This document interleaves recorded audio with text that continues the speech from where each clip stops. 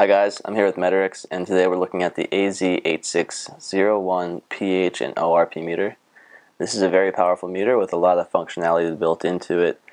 Uh, starting off, as you can see, it's got a removable probe attached up here and six buttons. So what these six buttons do are this one will turn the meter on and off.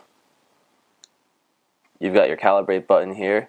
Uh, today I'm just going to be showing you how to operate this meter, so stay tuned for further videos where we'll be talking about calibration and you know diving into the meter a little bit further. Down below here you've got your temperature button so it allows you to switch between Celsius and Fahrenheit readings. Up here is the record button so you can record your, uh, your record your readings. Here is pH and the ORP button so it allows you to easily switch between measuring pH and ORP. So we're just going to keep it back on pH here. And right down here at the bottom is the backlight button. So it comes in really handy if you're working in low light or you know can't really see the LCD screen that well.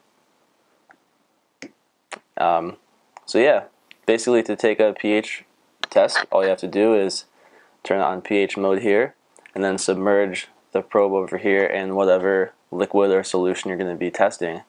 Right now we just have tap water. So as you can see we're getting a pH reading of 7.76. Um, so that's about it for today.